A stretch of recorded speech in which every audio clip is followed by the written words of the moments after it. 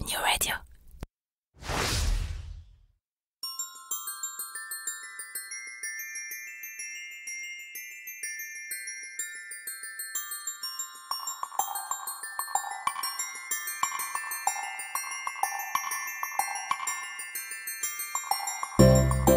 Bon matin et bienvenue dans la saison 3 de Fais-tu.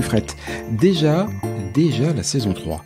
Quand je pense que lorsque j'ai commencé, on me disait que ce concept manquait peut-être un petit peu de profondeur et que je risquais de vite me retrouver à court de sujets, et bah pour le coup, j'en connais qui se sont mis une sacrée bûche dans l'œil. C'est que mine de rien, la culture québécoise est infiniment plus riche que ce que la seule démographie de la province peut laisser penser. La société québécoise, parce que multidimensionnelle, est aussi incroyablement plus complexe que tout ce qu'on peut imaginer. Alors vous savez quoi les amis De vous à moi, vous pouvez encore vous attendre à quelques saisons en plus de Fait du Fret. Mon nom est Jean-Michel Lhomme et avec ce podcast je suis vraiment, mais alors vraiment heureux de vous faire découvrir mon nouveau chez moi, le Québec. Bonne écoute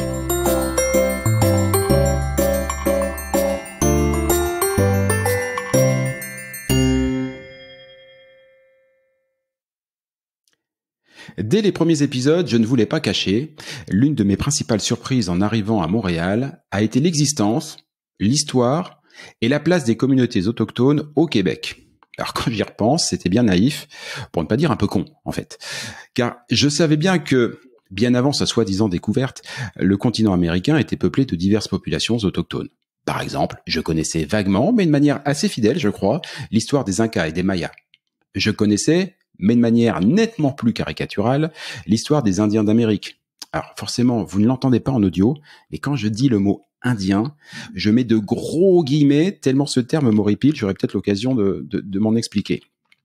Mais dans mon imaginaire limité, c'était comme si le Québec était un village isolé de toute forme d'histoire, un village peuplé de descendants normands, charentais et autres. Alors évidemment, je me trompais, et puis dans les grandes largeurs en plus. À ma décharge, vous constaterez que jusqu'à récemment encore, les artistes et personnalités québécoises qui traversaient l'Atlantique ne revendiquaient aucune origine autochtone. Étonnant, non? Bref, bref, j'étais complètement à côté de la plaque. Et mon retour à la réalité s'est fait en deux temps. Un premier temps que je qualifierais de cocasse. Dès notre arrivée, ou quand nous nous rendions en taxi jusqu'à notre future maison de la rive sud, côté de Montréal, mon chauffeur nous a expliqué que nous longions Kanawake, une réserve Mohawk. Voilà, réserve. Voilà un autre mot qui m'horripile pas mal. Là aussi, on s'en expliquera peut-être. Euh, deuxième temps, beaucoup plus dramatique celui-ci. La vraie prise de conscience, c'est le décès de Joyce Echaquan à l'hôpital de Joliette. Je vous remets ça en contexte. Avant de mourir, la jeune femme s'est filmée, souffrante et suppliant qu'on lui vienne en aide. Dans cette vidéo, on voit deux infirmières s'amuser de la situation en mettant tous les symptômes de Joyce sur des préjugés raciaux. Elles ne feront rien d'autre que d'en rire, et Joyce mourra quelques minutes après, déclenchant ainsi une vague d'émotions et peut-être un début de prise de conscience. C'est à ce moment-là que je me suis dit que je devais absolument en savoir plus, comprendre puis via ce modeste euh, podcast, vous raconter ce qui, selon moi, est l'une des principales composantes de la société et de la culture québécoise. Et malheureusement, le Québec ne fait pas exception à la règle. Partout où des peuples sont maltraités, les femmes et les enfants sont les premiers à morfler. Mais si l'histoire des enfants, notamment via les pensionnats autochtones, est assez connue et documentée, en tout cas de plus en plus, celle des femmes autochtones est beaucoup moins connue. Alors cela tombe bien puisque mon invité du jour, Michel Odette, est une femme, autochtone, et militante particulièrement engagée sur la cause des femmes autochtones. C'est aussi aujourd'hui, et vous verrez, c'est la touche d'espérance qui clôt cet édito, l'une des principales représentantes du pays puisqu'elle siège au Sénat du Canada. Bonjour Madame la sénatrice. Coué, coué coué à vous. Comment allez-vous? Ben là, j'ai une petite boule d'émotion. Euh, à chaque fois qu'on parle de Joyce, ça vient me chercher. Puis après ça, le avant et le après, vous m'avez euh, vous m'avez bercé dans dans comment on peut voir ou vivre ou percevoir l'autre dans mon chez nous. Alors, euh, ça fait du bien d'avoir une autre lunette. Et en tout cas, moi, j'espère que vous allez pouvoir m'aider, et j'en suis sûr, vous m'aider à, à, à ajuster la mire sur mes lunettes à moi parce que je suis bien conscient. J'ai dit que j'étais naïf et euh, malgré trois ans au Québec et malgré des, des émissions, j'ai pu faire une émission à Katia Bacon notamment, euh, une autre avec Suzy Obom Sawin euh, pour essayer de m'attaquer, d'aborder un petit peu le sujet, mais je suis quand même bien, bien, bien conscient de mon incompétence notoire.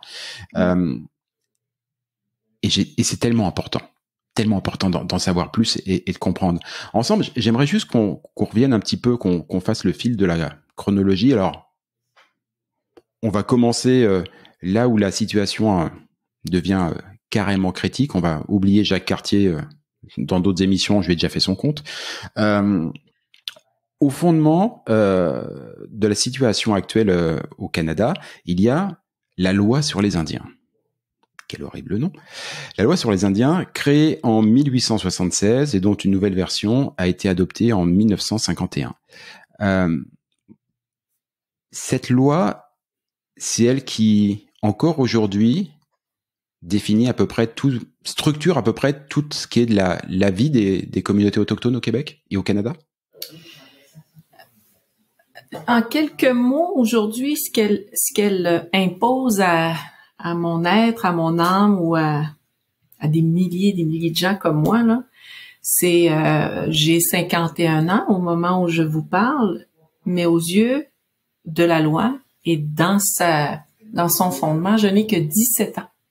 Donc, toutes les personnes qui sont inscrites en vertu de la loi sur les Indiens au Canada, euh, on nous considère comme des mineurs.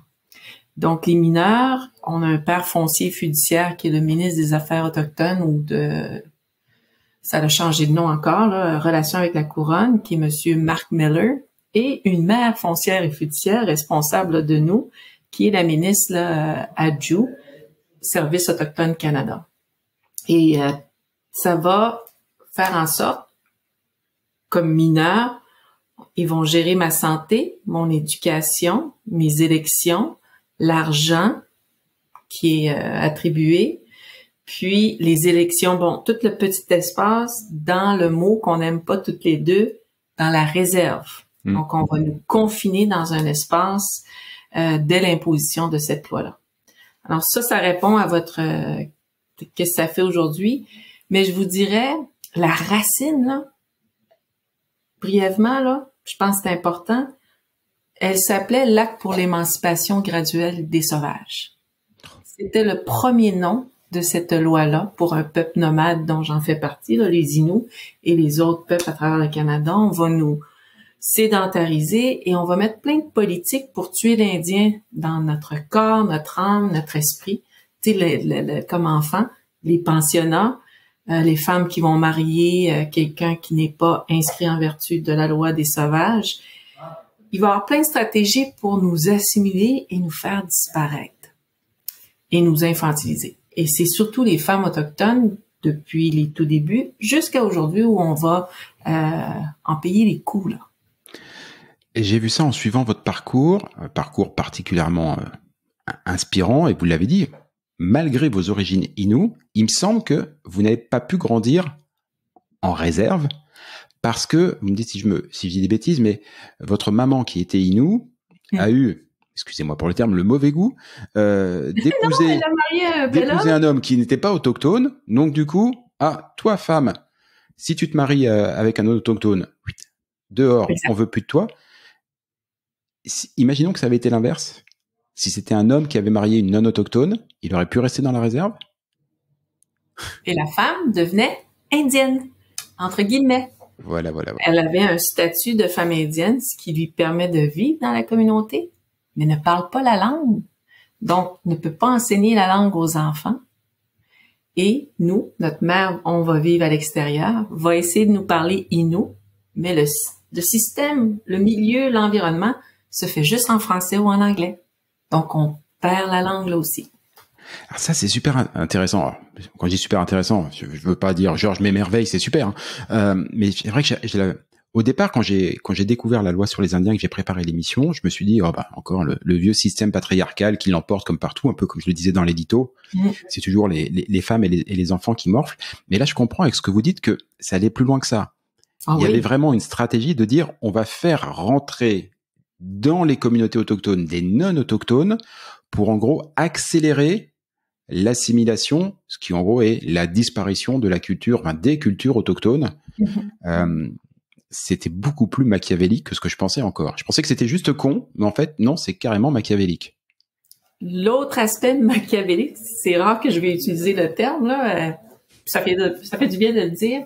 C'est d'ailleurs dans le rapport de, l'enquête nationale sur les femmes et filles autochtones.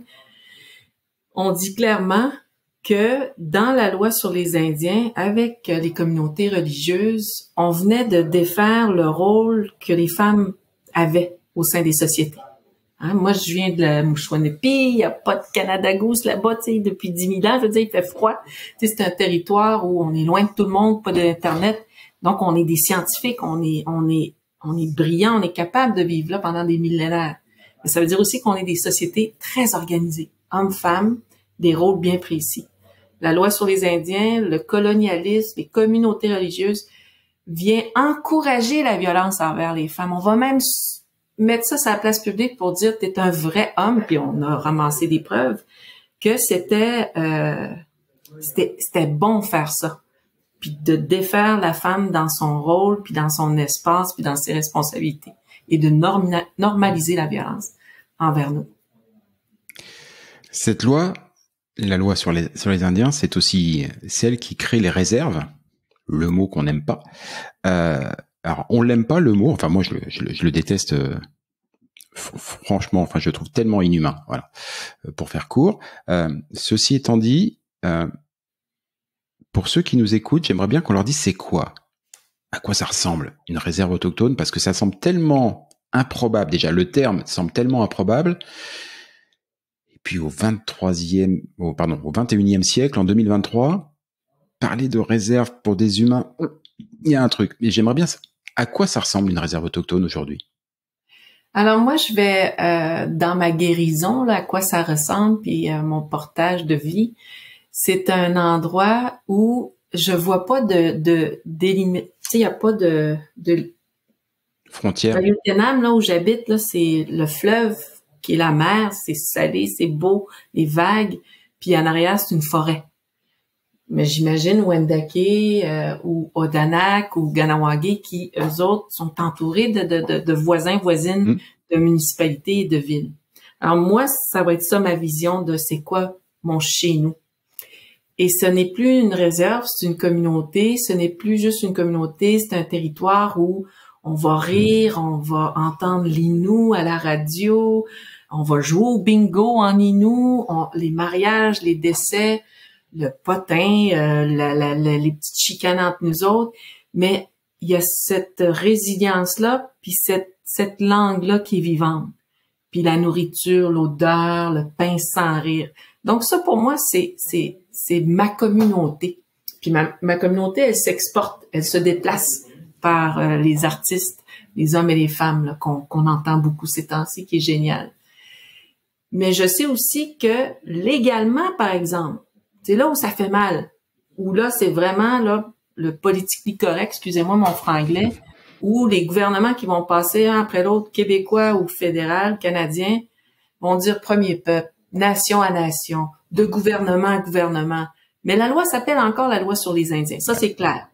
Et elle nous empêche, dans le petit lot qu'on a, qu'on appelle la réserve de Washat Maliotenam, d'être des adultes, d'avoir 51 ans et plus, et tous ceux et celles qui ont 18 ans et plus, de pouvoir avoir des droits et des responsabilités, comme vous, vous avez. Pourtant, vous n'êtes pas du Québec, là, vous m'avez ben montré une belle photo, mais vous avez plus de droits que ben du monde, mais c'est pas pour vous faire sentir mal. Alors, c'est là où ça fait mal. Fait que là, ça redevient pour moi un lieu où on me rappelle que c'est encore la loi qui me dicte mon présent et mon avenir et je n'ai pas la même capacité tant dans la gouvernance, dans la culture, dans la protection de la langue, dans l'accès au territoire, tout ça là pour dire hey, je, suis capable, je peux décider pour moi et avec moi puis pour mes cinq enfants. Alors ça c'est là où ça devient là, là trois petits points de réserve. Ouais, je comprends. C'est fou de se dire que moi qui suis là depuis trois ans, qui euh, bah, qui suis un, immigrant volontaire, hein, choisi, heureux, mais euh, qui, qui, qui, qui suis là depuis trois ans, je me retrouve à avoir plus de droits que des gens qui sont nés ici, dont les, les parents, les arrière-grands-parents et ainsi de suite et tout, sont nés sur ces terres, ont forgé ces, terres-là. Euh, il y a quelque chose de, complètement lunaire dans, dans, cette situation. Et tant qu'on est sur des choses lunaires, euh, je remets juste en perspective, hein, le Canada est l'une des plus grandes puissances économiques, politiques au monde. Euh, et il me semble avoir vu que en 2019 encore, donc au 21e siècle, 56 communautés autochtones n'avaient toujours pas accès à l'eau courante. On commence à aller quand même un petit peu loin dans la, je sais même pas comment appeler ça en fait. J'allais dire ségrégation. Je, je, je, sais pas quel est le bon mot. Je saurais pas mettre le bon mot tellement ça me semble improbable. Si on disait peut-être, euh, c'est récent pour moi là, c'est d'ailleurs je vais faire un discours euh, au Sénat cette semaine euh, sur la violence ou le racisme environnemental. C'est quelque chose que je que je c'est pas moi qui l'ai inventé là, puis j'ai fait hein, on a ça nous. Et vous parlez de l'eau et je donne un exemple qu'il y a des communautés au Canada qui ont même pas accès à de l'eau potable et tout simplement ou tout simplement euh, ils ont pas d'eau du tout là. L'eau l'eau est contaminée. Et là c'est là où on vient voir puis je me dis mon dieu. Mon dieu. La ségrégation, ça peut être le terme, mais à la racine même des multinationales, des compagnies canadiennes, avec l'État, le gouvernement, les provinces ont été puis se sont imposés sans faire fi, sans, sans, en faisant fi et aucune considération de ceux et celles qui habitaient là depuis toujours. Même si on les avait mis dans des réserves, là, dans mm. les communautés, reste que euh, l'eau est là, le territoire, la forêt, ainsi de suite. Et là, c'est là où on voit beaucoup d'enfants malades, de l'asthme, de l'eczéma, des problèmes de, de, respiratoires, des cancers qu'on n'a jamais vus, et ainsi de suite. Et là, je me dis, wow, on a été patient pendant longtemps, mais notre voix est pas assez forte. Et là, encore une fois, c'est là où je me dis, ouf, euh, on est au Canada, là. Et hmm. ça se passe, là. Mais parce qu'on le voit pas, vous et moi, au quotidien, mais on n'est pas dérangé par ça. Et là, nous, quand on va le dire au effort, ah, ils chialent encore eux autres. Ouais, c'est, euh, c'est. Je, je, vous conseille pour ceux qui, qui écoutent ce, ce, ce, balado. Euh, moi, j'ai lu, j'allais dire dévoré, lu et relu. C'est très rare que je relise des livres. Euh, à peu près tous les bouquins de Michel Jean, mmh. Inou, euh, comme vous, euh, qui a écrit, qui décrit très bien euh, de nombreux facteurs sur la, la, la vie des, des, communautés autochtones, et notamment de la communauté Inou, et notamment moi, ce qui m'a, parmi les choses qui m'ont heurté, il y, en a quelques-unes. Hein, ce sera un inventaire à la, à la Prévert, comme on dit. Euh, ce qui, ce qui, ce qui m'a choqué, c'est la sédentarisation forcée. Mm-hmm. C'est-à-dire que on a pré, il me semble qu'on a présenté la, la, création de ces, euh, de ces réserves, genre, eh, je te fais un cadeau, je te donne un bout de territoire, voilà, et sois sympa, c'est gratuit. Euh, alors qu'en fait, on avait des gens qui étaient des peuples nomades ou, c'est-à-dire que ce que Michel Jean raconte, c'est qu'il y avait vraiment un camp de base d'été et un camp de base d'hiver pour la chasse et tout, dans des conditions d'ailleurs très très rudes, avec un transit euh, entre les deux qui était, euh, enfin franchement, quand il est décrit, je m'y vois pas deux secondes. Hein. Euh, et du jour au lendemain, et avec une violence extrême, parce qu'on avait décidé que le camp de base d'été, eh ben, on allait, on allait le noyer parce qu'on avait besoin de faire une rétention d'eau pour créer notamment Hydro-Québec, cette grande fierté nationale ici au Québec. Et eh ben, on, on, prend une dame, on lui dit ah, au fait, tu retrouves pas ta maison ce soir parce que là, on est en train de tout noyer. Donc, t'as gardé une chambre à l'hôtel et puis après, tu vas bah, tu vas dans une réserve. Ouais. Où t'as pas l'eau courante, où t'as pas tout ça, et où en 2023, bah, on l'a, on l'a toujours pas. Sédentariser des gens qui sont par nature nomades. Alors je sais pas si la comparaison est même, mais enfin, aujourd'hui, quand on veut priver un homme de liberté, on le met dans une prison. C'est-à-dire qu'on l'empêche de bouger. C'est ça. C'est, ouais, le mot de violence, il est quand même, euh, il n'est pas galvaudé pour le coup. Hein. Mais ça, cette image-là, va marquer tous ceux et celles qui nous connaissaient pas dans le livre de Michel Jean et des gens qui étaient très durs puis qui vont venir nous écrire ou nous dire ben ce passage-là m'a fait voir autrement à là je comprends parce qu'il y a eu une image Et peut-être parce que c'est une Québécoise qui est tombée en amour à Mm. notre culture et à notre peuple, qui moi au début, j'étais comme ah, ça fait trop roman savon. Mais finalement, j'ai dit ok, faut que j'écoute Alma là, faut que j'apprenne à la et et elle devient une ambassadrice. Une ambassade, c'est quelqu'un qui vient d'ailleurs, donc une ambassadrice pour le peuple québécois. Puis comme Serge Bouchard faisait si bien, un Québécois qui parle à d'autres Québécois. Puis là, je me suis dit, ben merci à ce livre-là. Il va amener une meilleure compréhension. Et il y a encore du chemin. Euh, parmi ces bouquins, euh, dans ces bouquins, il y a notamment un, un- un long passage, enfin quasiment tout un livre dédié. Euh, euh, je suis, je crois en France, s'appelle Maïcan, euh, mais ici au Québec, ça doit être Le vent en parle encore.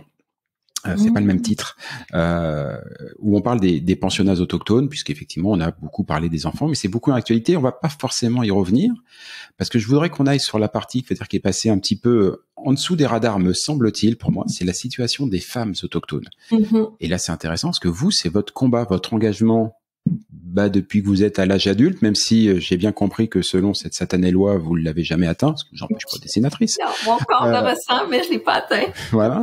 Euh, mais vous êtes engagé là-dessus, comme votre maman, je crois. Euh, Oui. Pourquoi vous êtes engagé sur ce, sur cette cause-là, et pourquoi est-ce que c'était nécessaire de s'engager? Avant, j'aurais répondu parce que j'ai été confrontée à une discrimination, puis ça m'a... J'étais fâchée et euh, j'ai transféré ma, ma, ma rage en action. Et récemment, dans les dernières années, j'ai fait, hein, j'aurais pu choisir une autre vie si j'avais eu toutes les chances égales ou la qualité de vie de ou la même chose que l'autre. Je suis née quasiment dans le train, dans le ventre de ma mère. J'ai décidé de sortir euh, entre Sept-Îles et Shefferville. Puis dans ce train-là, en 71 jusqu'en 1989, la ségrégation existait. Il y avait un wagon qu'on appelait pour les sauvages, puis l'autre pour les blancs. C'était comme ça. Alors jusqu'en 89, moi j'étais à Issab, j'allais chez les blancs pour me faire ramasser. Et j'ai normalisé ça.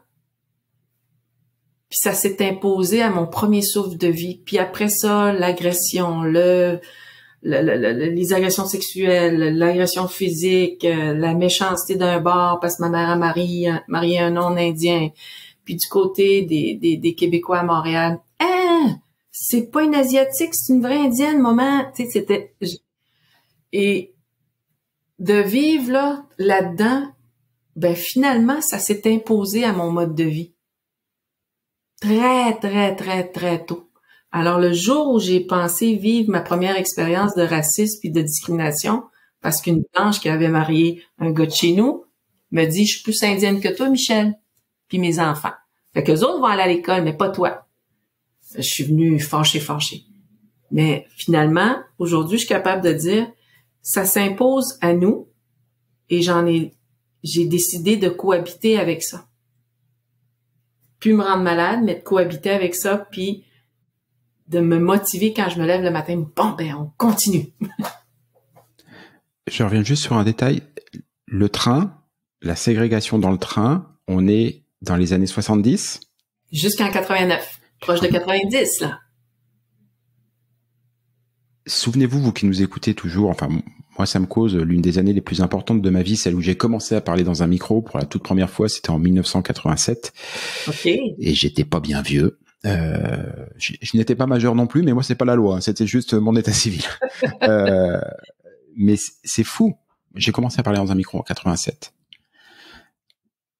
En France, forcément, euh, un pays très marqué par la Seconde Guerre mondiale. On a connu les camps, très proche de chez moi, de mon petit village. Il y a le village de Radour-sur-Glane, qui est un village martyr, qui a été entièrement, euh, voilà, enfin, un pays très très marqué.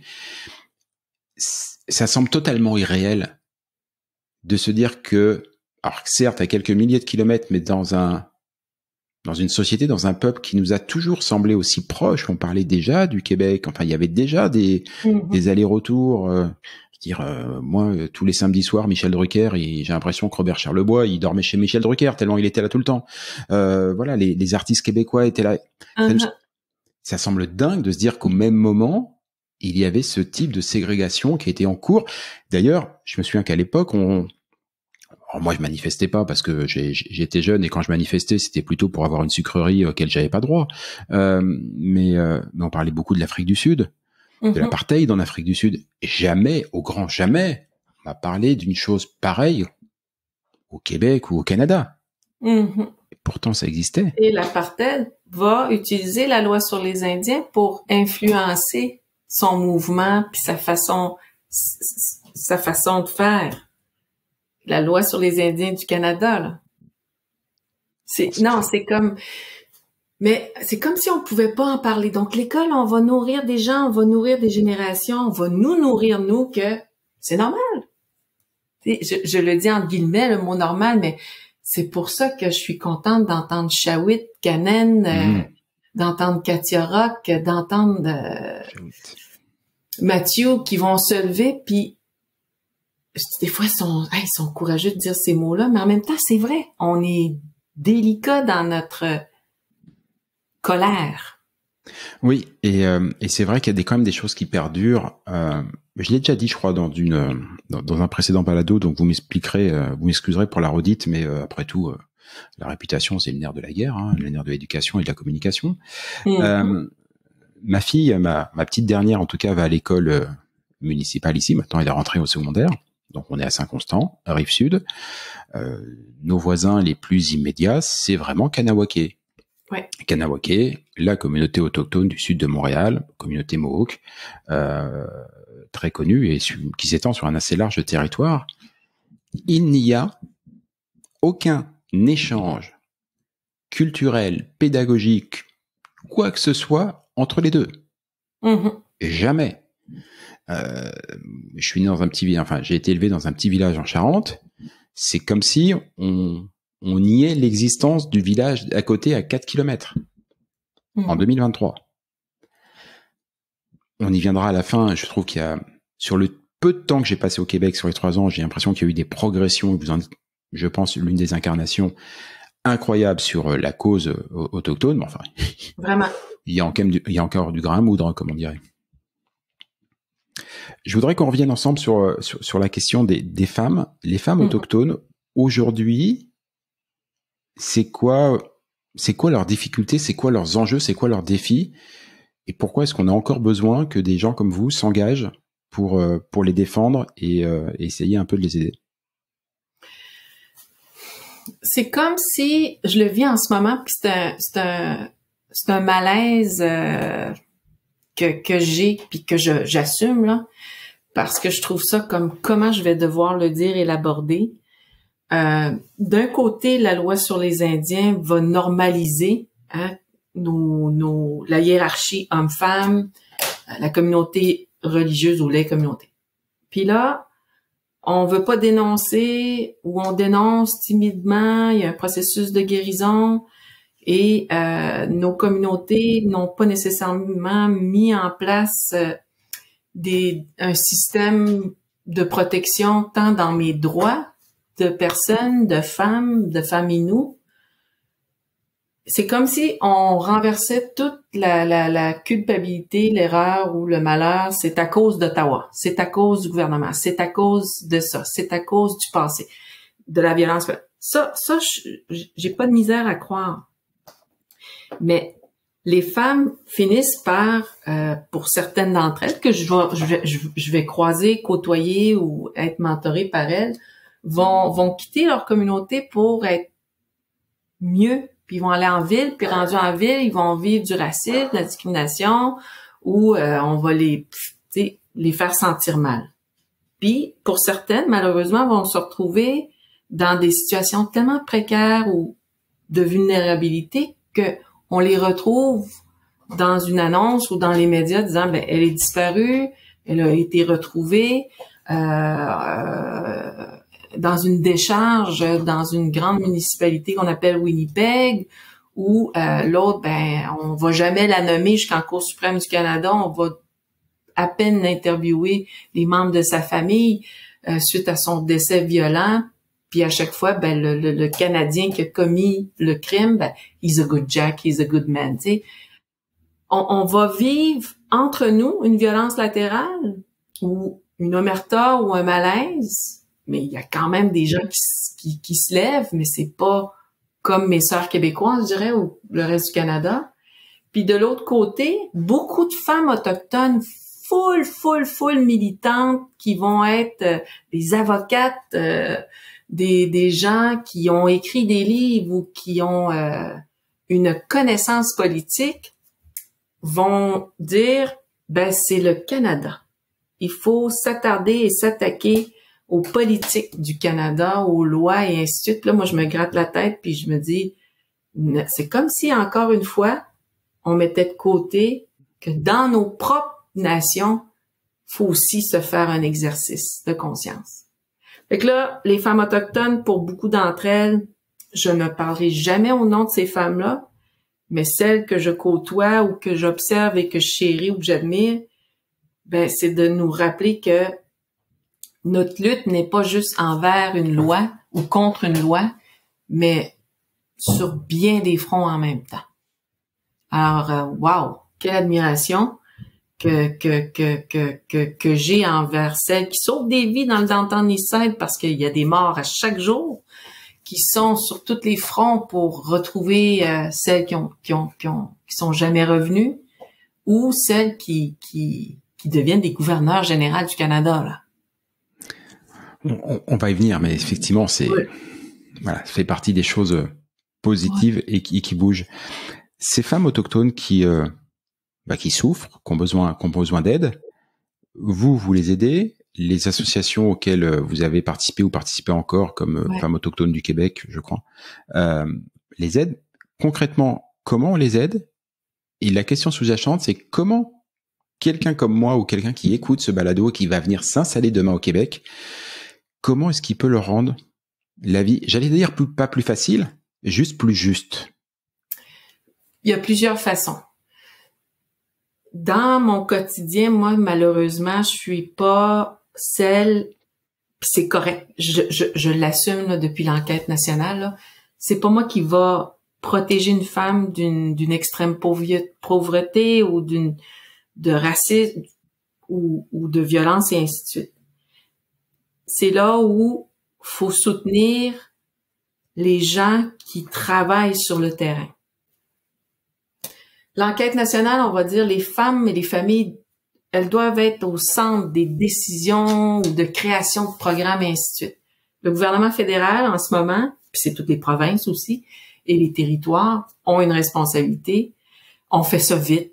C'est l'électorat, puis on n'a pas grand temps, puis c'est pendant notre euh, parlement, etc on va mettre tant de milliards, puis ils sont pas capables de me dire où est-ce qu'ils ont investi ou dépensé les milliards, et ça devient comme on vous a dit, et je vais vous le répéter maintes fois, comme vous, vous habitez à Montréal, je comprends, ben vous avez euh, le Native Women Shelter.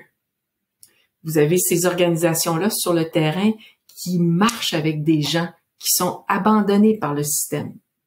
Il y a des maisons d'hébergement à travers le Québec comme ici, moi, je m'implique avec la maison communautaire Musnac à Québec pour les femmes autochtones en difficulté, ben, ça va être ma façon de redonner. Parce que c'est là où elle s'en fout que je suis sénatrice quand je m'assois à côté d'elle. Puis, même, elle sait même pas. Ah, je la vois des fois à télé. Elle, s'en fout qui je suis, mais ce qu'elle va peut-être apprécier, c'est que je vais être là le temps qu'on a à pouvoir l'amener en cours, rencontrer un avocat, ou euh, la sortir d'urgence de sa maison parce qu'elle vit de la violence, ou tout simplement lui envoyer un peu d'argent pour payer son loyer, ou prendre ses enfants temporairement le temps que la DPJ fasse. Alors, ça va être une façon pour nous où on peut accompagner des gens. Mais vous, je pense que vous connaissez plein de familles autochtones, mais vous avez un réseau incroyable à Montréal, puis tous ceux et celles qui écoutent, partout où on habite, il y a des organisations autochtones qui, pour moi, auraient dû recevoir les milliards là, qui ont été annoncés pour sauver et accompagner des vies. C'est vrai que je connais pas forcément énormément de, de, de personnes d'origine d'origine autochtone, mis à part celles que j'ai eu la chance de d'interroger, de recevoir sur ce podcast. Euh, et en même temps, à chaque fois que je vais dans Montréal, je les croise. Alors je les croise entre guillemets euh, sans les voir, hein, de manière euh, probablement, euh, on va dire pas cool. Euh, parce que parce que beaucoup d'itinérance et d'origine Mhm. autochtone. Euh, voilà, puis puis effectivement l'i- l'isolement en ville, on l'avait un peu effleuré avec euh, Katia Bacon, euh, qui je crois vit dans mon vit dans Montréal, mais c'est pareil, vivre sa culture euh, sa culture autochtone, essayer de la faire vivre. Et il y a souvent un âge où, quand on est jeune, euh, c'est pour tout, quand on est ado, on veut tout casser avec ses parents et Mhm. pas en entendre parler, et puis on passer la vingtaine, on a envie de se rapprocher un peu de ses racines, de les retrouver. C'est pas forcément facile quand on est dans un environnement, dans un environnement urbain euh, loin. Et puis on les croise et euh, on pourra peut-être simplement euh, simplement les considérer en leur disant euh, bonjour Koué. Voilà, même Mhm. si je sais que c'est pas pour tout le monde, pour les Inuits c'est Koué, mais euh, mais voilà, ça, mais- change, mais voilà, avoir un petit peu de un petit peu de considération euh, Mhm. et euh, leur rappeler que ce sont juste des humains comme les autres, quoi. Oui. Oui. c'est peut-être euh, c'est, c'est peut-être un beau programme. Il y a quand même tout ça dans un environnement qui est assez. euh, bah, il y, a- une histoire qui est chargée, qui est dure. Et à chaque fois que je l'aborde, je suis toujours euh, effaré par la par la violence de ce que de ce que ça a été de et de ce que c'est encore euh, encore aujourd'hui. Mais quand même, on va venir à quelque chose d'un petit peu plus joyeux, ou en tout cas engageant. Moi, la sensation que j'ai eue, je l'ai dit au début de, de ce balado, ma prise de conscience s'est fait avec euh, la, la tragédie autour du sort de Joyce Echaquan. Et, euh, et j'ai l'impression qu'on se souviendra. On se souviendra vraiment de son nom très longtemps, parce que son, son martyr, je pense qu'on peut appeler ça comme ça, son, d'une certaine manière son sacrifice, même s'il était probablement pas volontaire, euh, a permis une prise de conscience très folle. Et depuis, il y a eu, je veux dire, pléthore de signaux, euh, de, de signaux positifs. Euh, on en a parlé. Gouverneur général du Canada a été nommé une femme d'origine autochtone, Marie Simons. Mhm. Euh, vous-même, depuis 2021, Michel Odette, sénatrice du Canada. Euh, le plus récent gouvernement du, du Québec a nommé Catherine Champagne-Jourdan ministre de l'Emploi du Québec. Et, et- et je m'arrête dessus parce que on l'a pas nommé ministre aux Affaires autochtones ou un truc comme ça. Voilà, Mhm. de la même manière qu'on prend un sportif pour être ministre des Sports. Non, non, on lui a donné un poste qui était euh, celui de l'emploi du Québec, c'est pas un petit sujet. Euh, voilà, nonobstant, j'allais dire, son origine autochtone. Euh, Michel Jean, on, on en a parlé, qui outre ses livres, euh, on lui a quand même donné le la, la, la présentation du euh, parce que c'est un journaliste euh, avant Mm. tout un journaliste, il, il présente sur TVA euh, le journal du midi en se permettant de commencer euh, toute chacune de ses éditions par couer tout le monde. Oui. Ce qui, je regarde sur Twitter, en chagrine encore deux trois quand même. Voilà. Mais c'est juste deux, trois sur les millions qui sont fiers. Exactement. Euh, et il y a quand même, il y a quand même une- un souffle qui est en train de se passer, non? Incroyable. C'est, c'est, c'est pour nous là, euh, Suzy Basile, Abitibi-Témiscamingue, l'université euh, dans, de- du Québec là, dans ce territoire. Euh, elle est professeure, puis c'est la première femme à Tikamek euh, à avoir un PhD. T'sais, pour moi là, c'était comme puis Suzy, sa maman fait partie des, des femmes qui ont qui ont fait Femmes autochtones du Québec là à l'époque de ma mère aussi.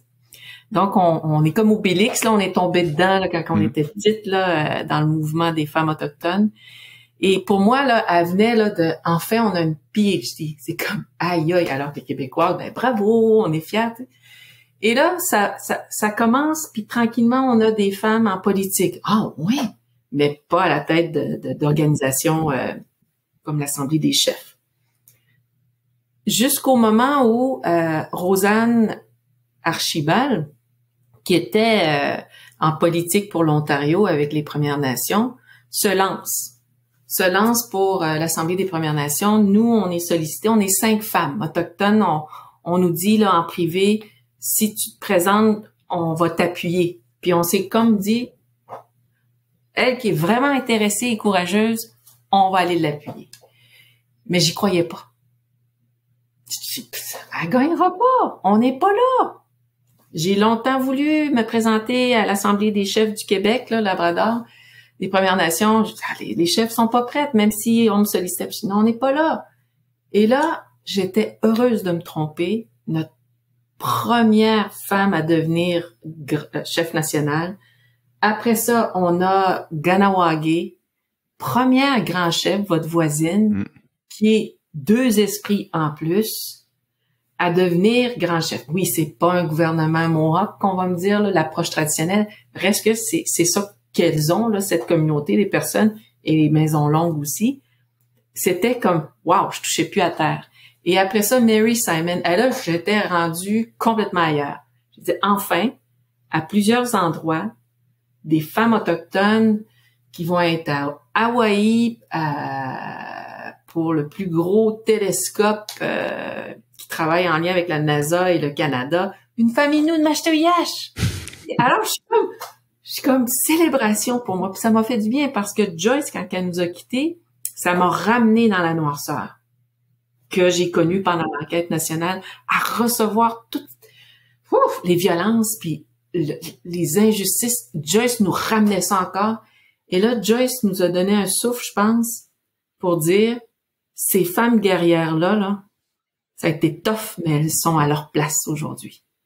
Ça durera le temps que ça dure. Puis là, on a une femme chef chez les Naskapi. C'est du jamais vu. À Kawawashikamak. La grande chef pour le peuple cri au Québec, c'est du jamais vu. Première femme grand chef. Alors, je me suis dit, 2021 puis 2022, pour moi, c'était, et ça va être dans mon livre d'histoire, l'histoire des femmes autochtones au Québec. C'est ça, hein, parce que c'est à la fois les, communautés autochtones qui accèdent au, au pouvoir, ou enfin là où ça décide, et en même temps ce sont des femmes. C'est-à-dire qu'entre j'ai dire, c'est deux révolutions qui se font en une. De tout temps, voilà, les communautés sont reconnues, mais on met d'abord des hommes, et puis après on fait des lois, machin, pour que en face on reconnaisse que il n'y a pas que des hommes dans la vie, il y a aussi des femmes, voilà. Et là, les deux se sont faits d'un coup, et c'est ça qui me, moi aussi me donne de, de l'espoir en me disant, ça va vite. Je reviens sur Myrie Simons parce qu'il y avait eu quelque chose aussi d'assez, euh, enfin moi qui m'a qui m'avait amusé parce que je trouvais ça malin pour le coup. Euh, quand Marie Simons a été euh, a été nommé euh, gouverneur général du Canada, c'était un poste très important. C'est un choix au Québec qui a été pas mal critiqué. Pas mal critiqué parce que normalement, si je dis pas de bêtises, je crois que la, la charte ou la constitution, n'importe quoi, impose au gouverneur général du Canada d'être bilingue. Et, euh, et, il se trouve que Marie Simons ne parle pas ou ne parlait pas français. Donc ils ont dit, bah elle est pas bilingue. Bah si, elle est bilingue. Elle est bilingue parce qu'elle parle parfaitement anglais. Et il se trouve qu'elle parle parfaitement aussi sa langue autochtone dont j'ai oublié, euh, j'ai oublié. Voilà. Et, euh, et ça a rappelé à tout le monde que, eh, eh il n'y a pas que le français et l'anglais. il y a d'autres langues, voilà. Euh, voilà, et qu'on peut être bilingue sans parler soit l'anglais, soit le français d'ailleurs, et d'ailleurs, on pourrait même être bilingue en parlant aucune des deux. C'était juste une petite pique, mais je trouve ça assez maligne pour dire, Regardez, il y a une autre réalité, il y a une autre dimension. Ouais. Faut pas l'oublier. Et j'étais, moi, moi, moi, dans mon livre à moi, elle est bilingue. Elle est bilingue. C'est, c'est, c'est, c'est de rappeler aussi, puis on le fait. Je l'ai vécu à l'enquête nationale. C'était, je devais pleurer, rire, débattre en anglais, m'ostiner en anglais ou questionner en anglais ou réfléchir juste en anglais. J'étais une minorité. Alors je comprends que parce que je suis une minorité, on met moins de, ressources autour de moi pour être sûr que oh, c'est équitable. C'est peut-être pas égal parce que on n'était pas beaucoup dans les 200 employés. Et là, quand moi j'ai vu ça, j'ai dit, je vous comprends. Donc, je suis sûre, moi, qu'on va mettre en place, si Mary Simon vient à Québec, des gens qui vont pouvoir interpréter ce qu'on dit et ce qu'on fait de, de, de, de part et d'autre. Mais le reste, là, c'était comme, dans mon livre à moi, il y a plus de 60 langues qui n'ont pas été sollicitées. Lorsque deux personnes et plus autour d'une table ont dit au Canada, c'est juste le français puis l'anglais. J'étais pas là. Mes ancêtres étaient pas là. Pour dire non, non, non, non, non, non. Vous dites un mot inou à tous les jours. Québec. Hmm. Ça veut dire débarquer débarquer de vos bateaux pour cette, période-là, lorsque Champlain est arrivé. Des Inuits ont dit Québec, Québec. Alors, vive l'enquête nationale, j'ai été des archives, des professeurs de l'Université Laval m'ont donné de l'information, il y a des livres là-dessus, ben, je dis, ben, je suis pas folle, je savais, je me disais que ça, ressemblait à de l'inou. Et oui. Ah, c'est bien. Vous devriez voir son sourire. Le, sourire de Michel Odette au, moment où elle dit ça, franchement, voilà, c'est c'est ça, c'est incroyable. Québec, c'est un mot inou et on le parle tous les jours. Euh, bah, Platipa, je viens d'apprendre que je suis trilingue. Euh... euh, il y a une phrase que j'aime beaucoup de, de, Camus, enfin je crois que c'est Camus, j'espère, euh, je vais, me faire descendre en flamme si je me suis encore trompé. Euh, en tout cas, la phrase, j'en suis sûr. Mal nommer les choses, c'est rajouter du malheur au monde. J'aime beaucoup cette phrase parce que je m'attache beaucoup au, choix des mots. On en a parlé dès l'introduction ensemble de, de, ce balado.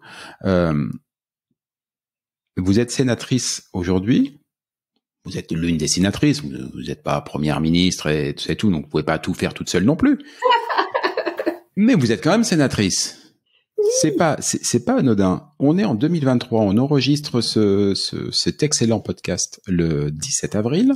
Euh, à minima, sans parler d'abrogation, même si ce sera peut-être pas forcément une mauvaise idée, mais quand est-ce qu'on peut envisager que la loi sur les soit à minima renommé, qu'on enlève ce, j'allais dire cette insulte, ou cette, euh, cet anachronisme. C'est plus une, un, anachronisme. Enfin, au départ, c'est juste un mec qui s'est qui, qui, qui s'est planté de route, qui pensait arriver en Inde et euh, qui est arrivé en Amérique et donc il a cru bonnement qu'il était qu'il rencontrait des Indiens. Bah non. Mm. Ça c'est compréhensible. Quand au bout de trois jours il a compris qu'il n'était pas en Inde, il a continué à les appeler des Indiens je donne souvent l'idée, c'est comme si moi, il y a quelqu'un qui, qui, rentre à la maison, qui sonne, qui me dit bonjour Jean-Pierre. Ah non, on dit mais moi je m'appelle Jean-Michel. Ouais, mais moi je vais t'appeler Jean-Pierre. il y a un moment donné, au bout de, je sens que je vais lui mettre des baffes. Voilà. Euh, quand est-ce qu'on peut envisager de, de changer ce, ce nom-là, peut-être même d'arrêter de, parler de réserve et de trouver un mot. Euh... J'ai jamais euh, posé la question, mais c'est intéressant. J'ai pris des notes et je vais m'informer. Je fais partie du comité peuple autochtone là, au Sénat et euh, on travaille, on étudie beaucoup la loi sur les Indiens et voir les tentatives là, avec la bibliothèque du Parlement si des gens ont essayé de renommer. Je sens que les, les, les, les analystes ou les politiciens vont dire well, eh bien, vous vous entendez pas sur autochtone, Première Nation, premier peuple, métis etc. Donc, on dérange pas euh, ce qui dérange trop trop. En même temps, je sais que le gouvernement fédéral, lorsqu'on dénonce, ils, ils vont pas changer, ils sont pas proactifs. Et c'est jadis, dans le temps de Paul Martin, ensuite avec M. Harper et maintenant avec M. Trudeau, les gouvernements qui, qui, qui passent là, euh, on va changer la loi s'il y a une décision de Cour suprême. C'est coûteux, ça. Mhm. C'est long. On a le temps de mourir deux ouais, fois. ça. Il peut se passer quelques générations. Ah oui. Alors ça, c'est comme au palais. Et de l'autre côté, on va avoir entendu des anciens grands chefs qui ne sont plus grands chefs aujourd'hui. Moi, je veux garder la loi sur les Indiens. C'est ce qui me définit dans mon transfert d'argent du fédéral à ma communauté. J'ai déjà entendu des jeunes dire, qui sont moins jeunes maintenant, là, mais peut-être qu'ils le disent pas, c'est grâce à la loi sur les Indiens que je suis un Indien. Donc, il y a une pédagogie qui est pas faite de notre part, puis qui est pas soutenue par le fédéral pour dire, avec FAC, c'est ça qu'on faisait, femmes autochtones, euh, de la formation pour déconstruire les mythes ou les préjugés ou les idées ou la, ah, c'était ça finalement la loi. Mais il faudrait que ça soit systématique à chaque année dans les mm. écoles québécoises et canadiennes, bien sûr, sur les vrais contenu autochtone d'il y a longtemps jusqu'à aujourd'hui. C'est c'est parce qu'on a envie de le faire qu'on va appeler quelqu'un pour se payer une formation, mais imaginons les universités le faisaient dans tous les cours. Tu es obligé d'avoir Autochtone 101. Et après ça, dans ta dans ton programme, dans ta spécialité, ben on va venir te nourrir de sagesse autochtone, mais aussi de de, de, gens scientifiques autochtones contemporains. Mais ça, c'est mon monde de caribou à licorne.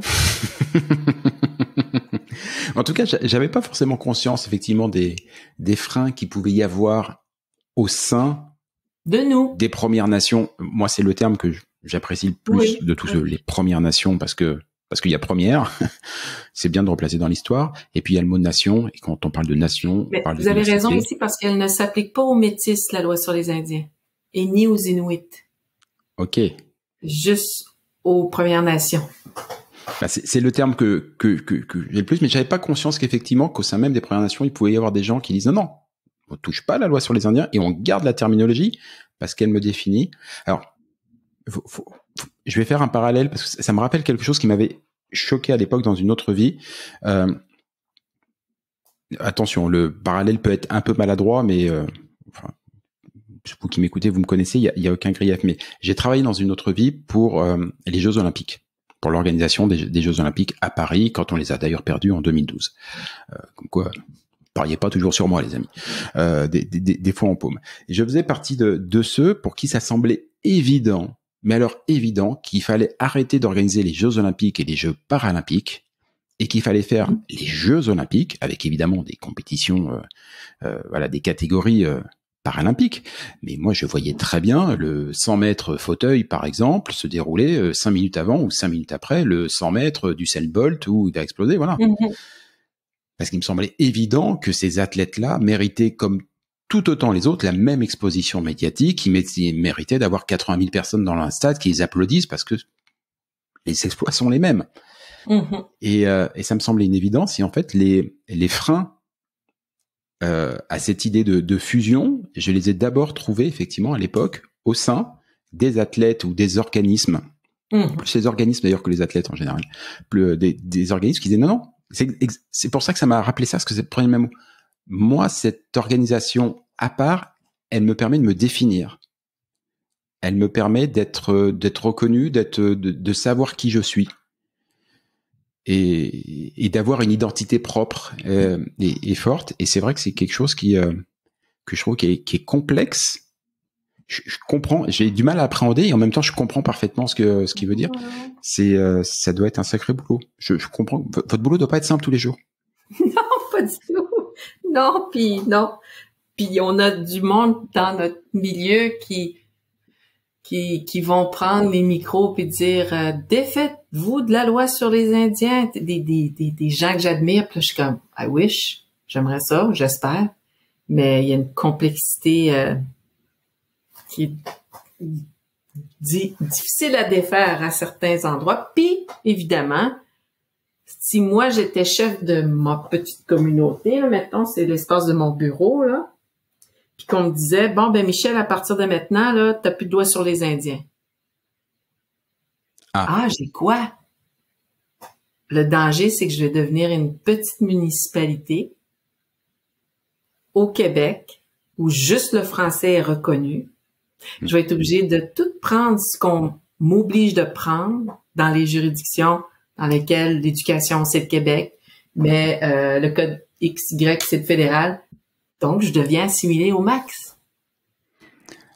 Alors, je veux pas de loi sur les Indiens, mais je veux une loi qui me définit, me protège et me permet de cohabiter puis de co-gérer les ressources pour ne plus dépendre des taxes de tout le monde et des impôts, mais de payer mon gouvernement, mes infrastructures, mes ressources et ainsi de suite. Puis si je suis pas la bonne chef, qu'on me floche pour un autre et que je mets en place des procédures pour lesquels il y a des protections de droits de la personne et des droits collectifs.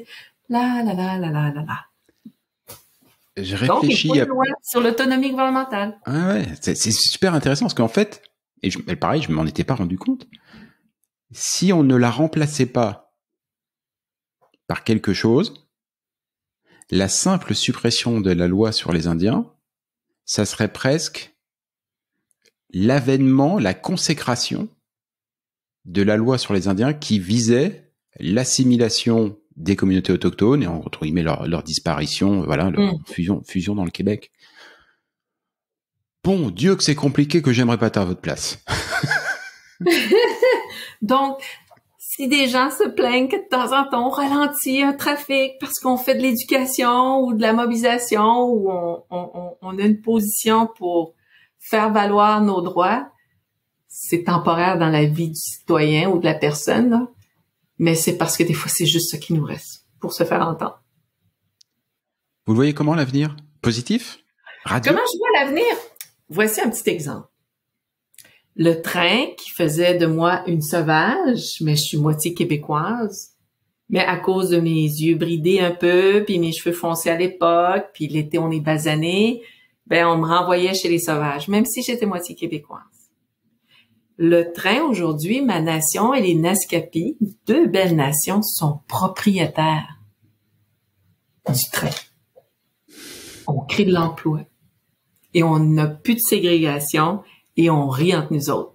Nous autres qui est Québécois, Némit, Labrador, Première Nation, et ainsi de suite. Ça, pour moi, là, l'avenir, c'est que dans nos processus de guérison, de réappropriation, fait en sorte que on se redonne cette fierté-là qu'on nous a enlevée.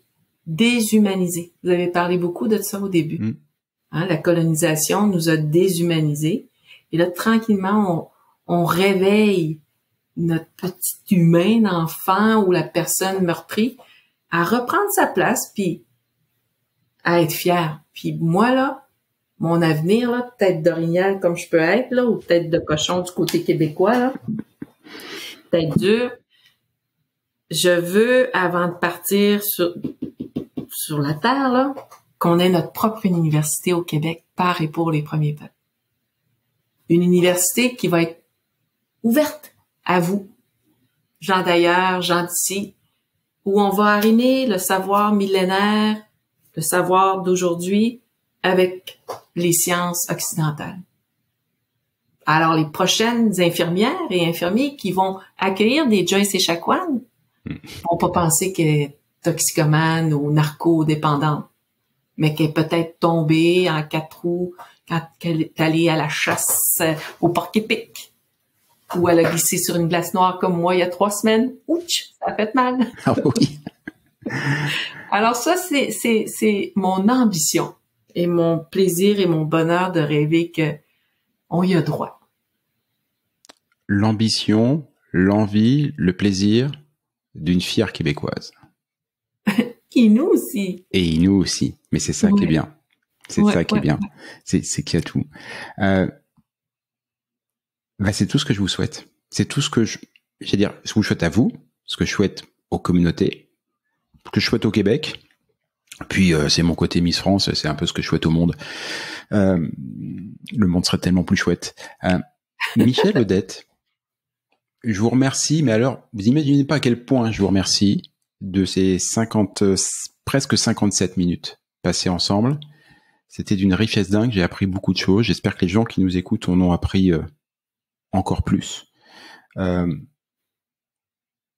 bonne continuation, bon courage, et je vous souhaite de pouvoir afficher de plus en plus souvent le même sourire que vous avez affiché tout à l'heure quand j'ai vu, c'était absolument incroyable. Merci beaucoup. Merci, puis allez au powwow à Kanawagé. Je compte bien y aller. Il y a un beau powwow. Je compte bien y aller, promis. Merci beaucoup. Au revoir. Au revoir.